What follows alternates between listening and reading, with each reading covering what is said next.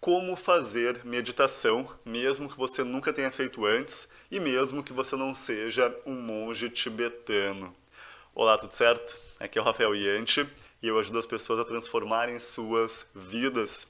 E no vídeo de hoje eu quero te explicar como fazer meditação, como implementar essa prática na sua vida, mesmo que você nunca tenha feito isso antes, mesmo que você já tenha tentado algumas vezes e tenha parado por algum motivo e mesmo que você ache que meditar seja simplesmente esvaziar a mente. Então você vai ver que é possível fazer meditação com um período curto de tempo, como 5, 10, 15 minutos, e que você pode ir expandindo isso aos poucos. Você vai perceber também que meditar não é simplesmente esvaziar a mente. Na verdade, meditar é você ficar focado em apenas uma única ideia, uma única âncora. Mas Vamos lá então. Nesse vídeo aqui você vai descobrir quais que são os benefícios também da meditação. E para a gente começar, eu preciso dizer que eu não sou um professor de meditação. Na verdade, eu sou um praticante que já veio praticando isso há mais de 10 anos. E eu uso isso para ter alta performance na minha vida, para ter mais foco, para conseguir baixar a, o estresse do dia a dia. E também eu preciso dizer nesse vídeo aqui, logo no início, que boa parte dessas ideias que você vai ver nesse vídeo eu aprendi com o Brian Johnson, que é o criador do Philosopher's Note. Eu vou deixar aqui um link na descrição desse vídeo para você ir lá visitar o canal do Brian, caso você queira aprender um pouco mais com ele. Legal? Show de bola! Então, para a gente começar, eu vou ler aqui um pedaço de um texto do Jonathan Haidt. E o Jonathan, ele é o escritor do livro The Happiness Hypothesis. E no livro dele, ele escreve o seguinte: Suponha que você leia sobre uma pílula que você pode tomar uma vez ao dia para reduzir a ansiedade e aumentar a sua satisfação. Você aceitaria? Agora suponha ainda que a pílula tenha uma grande variedade de efeitos colaterais, todos eles bons. Aumento da autoestima, aumento da empatia, aumento da confiança, até a melhora da memória. Suponha, finalmente, que a pílula seja totalmente natural e não custe nada. E agora, você tomaria? A pílula existe e o nome dela é meditação. Bom, legal. Então, aqui você já pode ver que existe uma pílula e essa pílula é natural e é de graça e requer apenas um pouco de dedicação de você sentar e tentar acalmar um pouco e tentar fazer aqui algumas dessas ideias que você vai ver hoje nesse vídeo. Show de bola! Então eu separei aqui 12 ideias que podem te ajudar a fazer essa prática de meditação da melhor forma possível e criar realmente o hábito de meditar. Vamos para a primeira ideia. E a primeira ideia é escolha o seu porquê. Então você tem que saber qual que é a sua motivação para fazer meditação. Por que, que você vai fazer meditação? É para conseguir reduzir o seu estresse, é para conseguir fortalecer a sua mente, é para conseguir fortalecer a sua força de vontade, ou é porque você quer que o seu sistema imune fique muito mais forte também e que você fique muito menos doente. Ou ainda, Talvez você queira fazer meditação para conseguir se conectar a algo maior. Então todas essas são são então tudo isso que eu falei são motivos de por que fazer meditação. E esses motivos todos aqui, esses benefícios que eu acabei de falar, são comprovados pela ciência. Então a sua mente fica mais forte ao meditar. Você fica com muito mais força de vontade ao meditar o seu sistema imune fica mais forte também ao meditar. Então escolhe qual que é o seu motivo e decide, cara, a partir de agora eu vou meditar por causa disso, por causa desse motivo, beleza? A segunda ideia é você se comprometer 100%. Ou seja, não é eu vou tentar fazer, não é ah, se eu tiver tempo eu vou fazer. Na verdade, você vai separar um tempo do seu dia vai marcar no seu relógio ali um timer e você vai lá e medita. E o mais legal é que se você vai com um comprometimento de 100%, você não tem como ter desculpas. Então 100% é melhor do que 90%, que é melhor do que 95%. E o mais interessante aqui, na minha opinião, é você mudar a sua identidade. Então, talvez hoje em dia você não tenha uma autoimagem de você como alguém que medita frequentemente, que medita todos os dias. Então, ao você criar o hábito de meditar, você também pode ir mudando a sua autoimagem de dizer, cara, eu sou uma pessoa que faz meditação. Eu sou um cara que usa meditação no meu dia a dia para conseguir aumentar a minha performance e conseguir ser mais produtivo. Beleza? Então essa aqui é a segunda ideia. A terceira ideia é você começar simples. Então agora a gente vai trazer algumas ideias de como implementar novos hábitos e fazer meditação vai ser um novo hábito que você vai precisar implementar. Então comece simples. Ou seja, em vez de pensar em ficar meia hora ou uma hora fazendo meditação, que é alguma coisa muito grande, você decide fazer meditação por apenas dois minutos. Então, consistência é mais importante do que intensidade. E aí, você faz isso de forma consistente por dois minutos por dia e aos poucos você pode ir aumentando. E ao fazer isso de forma consistente, por mais que pequeno no começo, você começa a criar momento no seu corpo e na sua mente. Você começa a. Imagina que você tem um carro. É como se esse carro estivesse sendo acelerado devagar. O grande problema de você começar muito grande no começo é que é bem provável que você desista depois de um tempo, porque se torna cansativo, porque requer muita força de vontade para você ir lá e fazer. Então a sugestão aqui é: comece simples, comece pequeno, comece fazendo apenas dois minutos e aí depois de fazer isso por algumas semanas, faz cinco minutos, depois faz dez minutos por dia. Então começa bem pequeno no início. E a quarta ideia aqui é: não seja um herói no começo. Então, de novo, muita gente quer começar o hábito novo fazendo um monte de coisa. Imagina que você decida que quer começar a fazer exercício para emagrecer. E aí você vai lá e corre por duas horas. Ou você quer começar a aprender inglês e você vai lá e estuda por duas horas. O problema de fazer um montão desse novo hábito, e no caso aqui da meditação, é fazer meditação por uma hora, uma vez que você nunca meditou.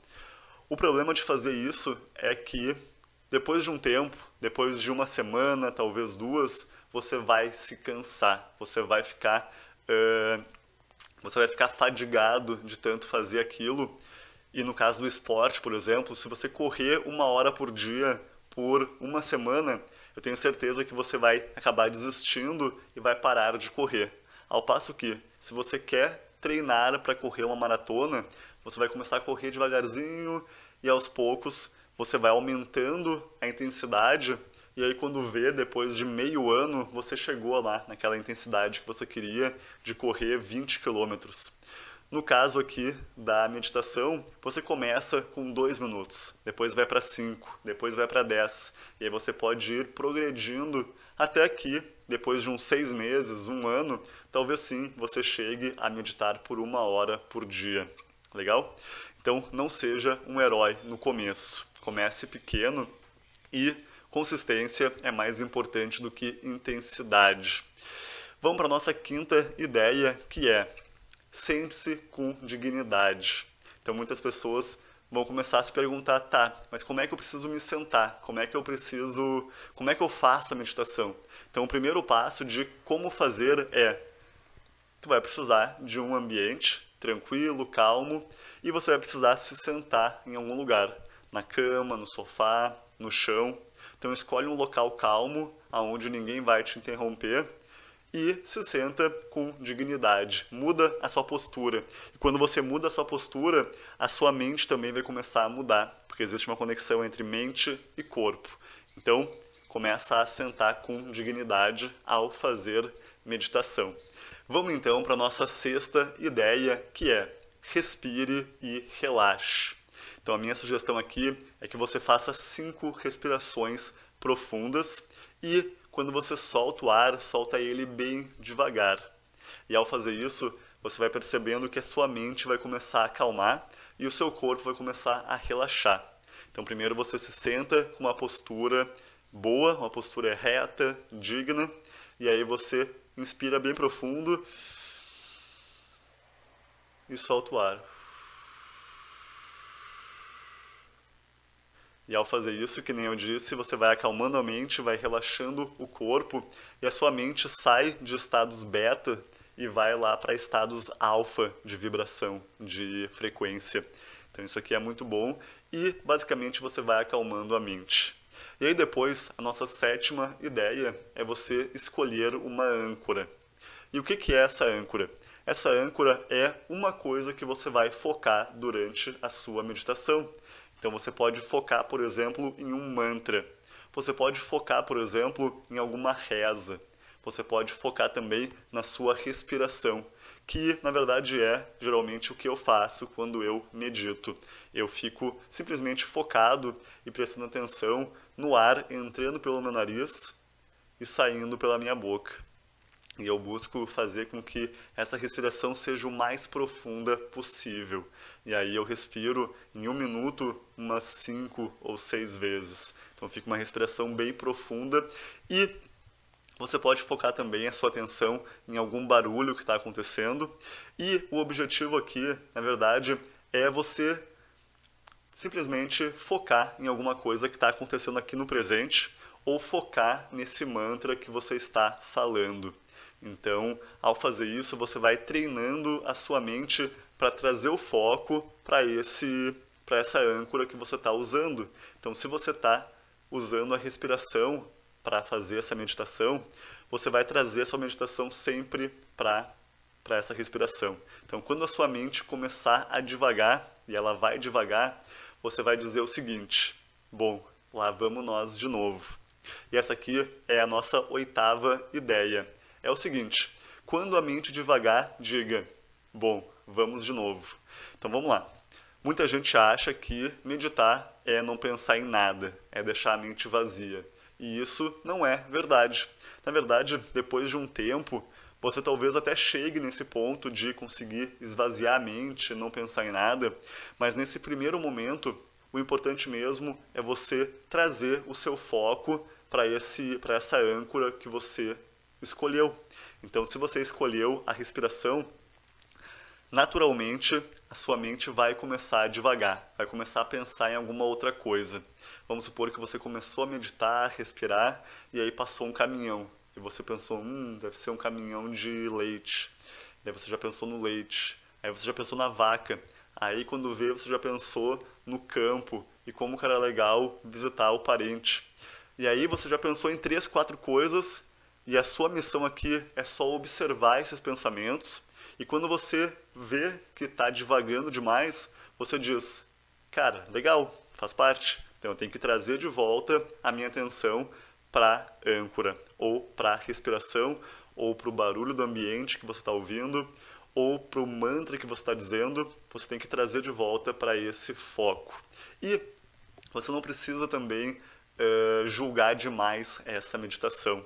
Na verdade, isso daqui já é a nossa nona ideia, que é escove a sua mente. Rafa, como assim escovar a minha mente? Que ideia é essa?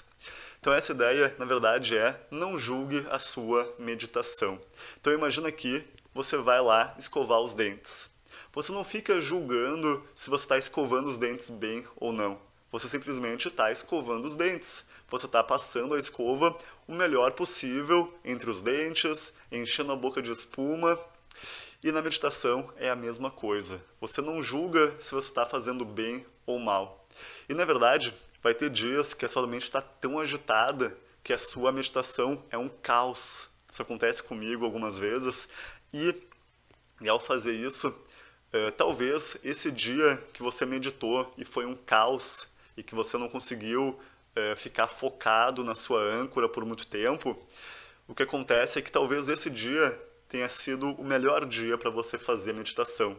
Porque talvez você estava tão agitado que ao fazer essa meditação você conseguisse se acalmar um pouco e fazer muito menos merda do que você faria se não tivesse meditado. Então, essa aqui é a nossa nona ideia, que é escove a sua mente.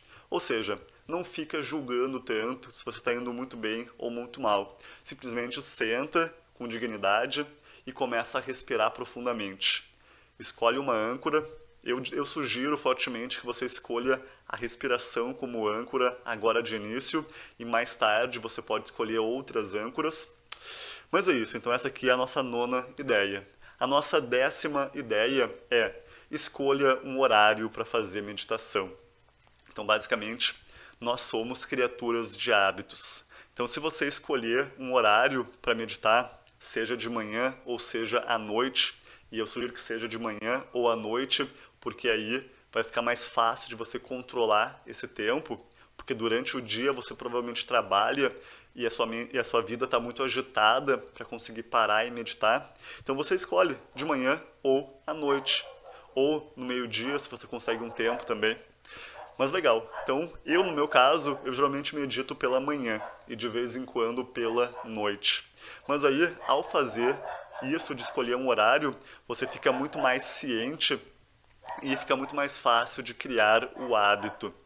E além disso, uma outra coisa importante aqui nesse processo de criar o hábito de meditar é você também decidir fazer isso todos os dias. Então, fazer todos os dias é mais fácil do que alguns dias na semana. E também é, tem uma outra ideia aqui na criação de hábitos que é não quebre os dias, ou seja, faça todos os dias. Mas vai ter dias que você vai esquecer, vai ter dias que você vai estar com a vida corrida e não vai conseguir fazer. E aí você pode quebrar um dia, você pode é, não fazer por um dia, mas daí no próximo dia você já retoma essa prática, legal? Então se você não conseguir fazer um dia, tudo bem, não fica se punindo tanto, simplesmente decide fazer mais no próximo dia, legal? Por fim, a nossa décima primeira ideia é você fazer isso de forma diligente, paciente e persistente. Essa ideia aqui, ela é bem simples. Quando a gente faz meditação, é bem provável que os resultados não apareçam do dia para a noite. Imagina que você está 20 quilos mais gordo e imagina que você decida que quer começar a fazer dieta, você quer começar a se alimentar melhor e você quer criar o hábito de fazer uma, uma alimentação muito melhor. O que acontece ao fazer isso é que você não vai ter resultados do, do dia para a noite ao comer melhor, ao comer mais salada, ao se alimentar melhor. Mas você vai precisar ter algo de longo prazo, você vai precisar fazer o hábito no longo prazo para ter os resultados. E aqui é a mesma coisa. Você vai precisar ter persistência, paciência e diligência para continuar fazendo o hábito, mesmo que você não esteja vendo resultado nele naquele momento. Um exemplo que eu gosto de dar bastante em relação a isso é aqui no canal no YouTube que eu tenho. Quando eu comecei o canal, eu fiz vários e vários e vários vídeos e eu não estava vendo tanto resultado no número de visualizações, no número de pessoas comentando. E aí eu tive que ter muita paciência, muita persistência para continuar gravando vídeos, mesmo sem ver o resultado no curto prazo. Então, a ideia aqui é bem simples. Saiba que o resultado vai vir no longo prazo. Saiba que esses benefícios de estar mais calmo, de ter menos estresse, de, de. Bom, todos os benefícios que eu falei antes, eles vão acontecer, alguns deles no médio prazo, alguns deles no curto prazo, mas vários deles vão acontecer no longo prazo e talvez você nem perceba, mas você está tendo esses benefícios por causa da meditação. Por fim, eh, a nossa Então, basicamente, a ideia é que você continue praticando e praticando e praticando. E também aqui, uma ideia que vem junto com essa é de você amar os platôs. Como assim, Rafa? Isso mesmo. Então, tem um livro que se chama Maestria, do Jorge Leonard. E nesse livro, ele fala do platô. Ele fala que tem vezes que a gente faz uma prática nova e tem resultados incríveis. E a gente consegue ver o resultado na hora. Então você faz a parada e vê resultados, vê que você está crescendo, que você está tendo progresso. Mas tem vezes que você continua praticando e parece que não tem progresso nenhum.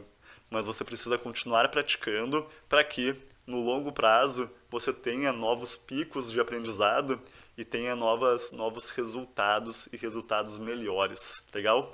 Então aprenda a amar os platôs. Por fim, a gente vem aqui com a nossa décima segunda, décima segunda ideia, que é a meditação está no nosso dia a dia. Como assim, Rafa? Isso mesmo. Então, essa meditação que eu falei a respeito nesse vídeo hoje, ela é a meditação que é a mindfulness. É a meditação que faz você retornar para o presente. Então tá. Vamos agora para a nossa décima segunda ideia, que é meditação está no nosso dia a dia. Isso aqui quer dizer o seguinte, quer dizer que essa meditação que eu falei a respeito hoje, ela é a meditação de atenção plena, onde a gente busca trazer a nossa consciência para o momento presente. A gente pode, de uma forma ou outra, fazer ela durante o dia. Como assim, Rafa? Isso mesmo. Então você pode treinar um pouco a sua mente, treinar um pouco a sua meditação ao lavar uma louça, por exemplo, ou ao caminhar com os seus cachorros, se você tem cachorro e caminha com eles de vez em quando, ao tomar um café, por exemplo. Então, sempre que você conseguir trazer a sua atenção para o momento presente e ficar apenas com essa ideia do que está acontecendo agora mesmo, isso significa que você está de uma forma ou outra treinando a sua mente e você está de uma forma ou outra trazendo essas ideias de atenção plena. Então, de nada adianta você ser super é, meditativo e conseguir desenvolver o seu foco e a sua atenção na meditação se no resto do dia você está com a sua mente totalmente doida e pensando em várias coisas ao mesmo tempo e você está no trabalho. Essa aqui é uma ideia interessante. Você está no trabalho, fazendo o seu trabalho, e quando vê, o celular já te interrompe. Quando vê, o seu amigo já te interrompe. Quando vê, você tem um monte de distrações acontecendo. Pô, legal. Como que você pode trazer um pouco dessa prática de meditação no seu dia a dia durante o trabalho? Você pode começar desligando o seu celular ou colocando ele no modo avião por uma ou duas horas durante o trabalho, quando você vai fazer uma atividade super importante. E aí você foca simplesmente naquela atividade. Então, nesse exemplo aqui, eu estou gravando esse vídeo. Então, nesse exato momento, não tem nada me interrompendo. Se alguma coisa me interromper, eu vou estar meio que quebrando essa meditação, digamos. Quebrando esse foco. E aí a minha missão é sempre trazer esse foco. Então, olha que interessante. Durante a meditação, você está treinando a sua mente para voltar sempre para um foco, seja a respiração, seja um mantra, seja uma reza, seja um barulho que está acontecendo no ambiente. E uma vez que você vai treinando a sua mente para voltar a atenção para aquilo que você quer fazer, você pode usar isso depois na hora de trabalhar, na hora de fazer várias coisas do seu dia a dia. Isso faz com que a sua performance no seu trabalho, na sua carreira também melhore. Bom, pessoal, mas é isso então. Eu espero que vocês tenham gostado desse vídeo, onde eu trouxe 12 ideias simples e práticas para você desenvolver a prática de fazer meditação.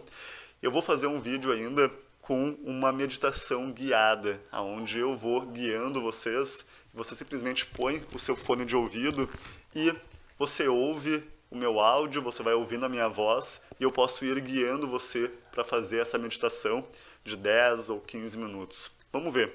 Mas fica aqui as dicas iniciais de comece simples.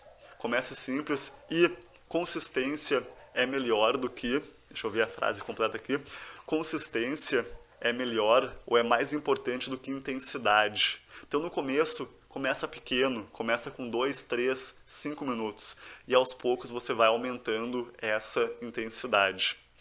Por fim, eu quero pedir para você deixar um comentário aqui embaixo me dizendo o que, que você achou.